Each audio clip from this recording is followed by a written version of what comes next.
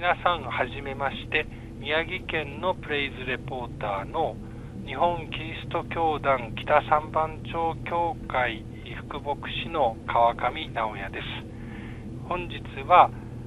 仙台キリスト教連合被災支援ネットワーク東北ヘルプのことについてレポートをいたします。私ども仙台キリスト教連合被災支援ネットワーク東北ヘルプは2011年3月18日に発足いたしました。仙台キリスト教連合がその母体です。仙台キリスト教連合は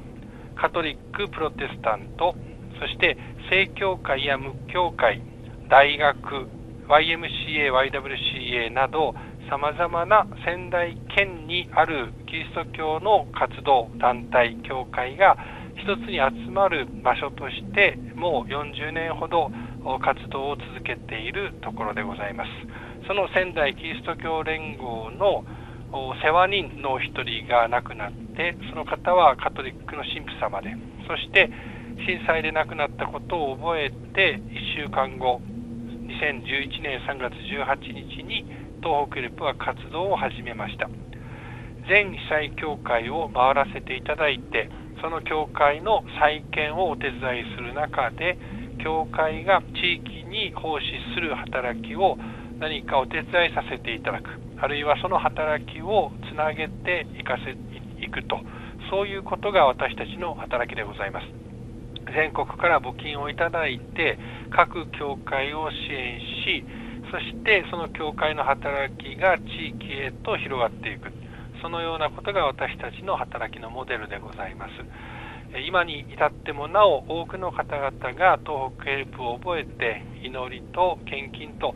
お捧げくださっていることを心から感謝申し上げます。私ども東北ヘルプは今年エキュメニズムの日2015年の4月29日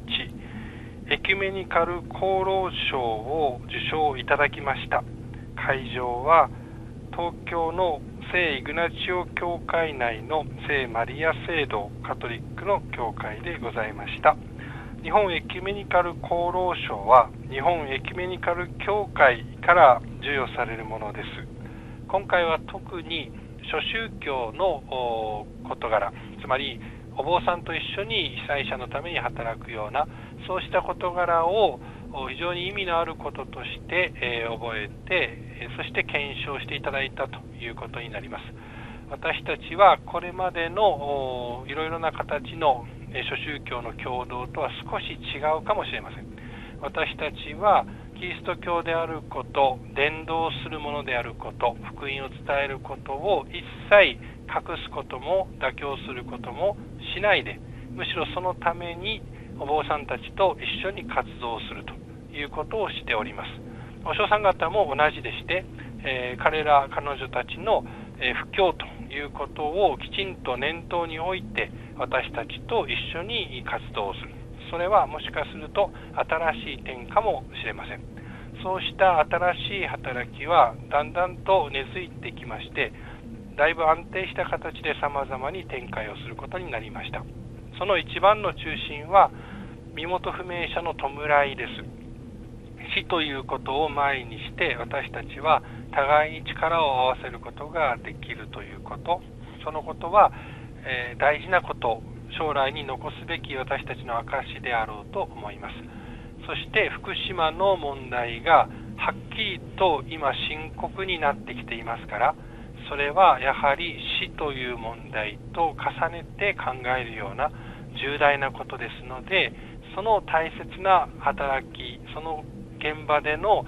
福音を伝える希望を絶やさないという働きのために私たちのこれまでの経験が生かせればとそのようにも願っております以上宮城県から日本キリスト教団仙台北三番町教会の副牧師川上直也が東北ヘルプのレポートをいたしました。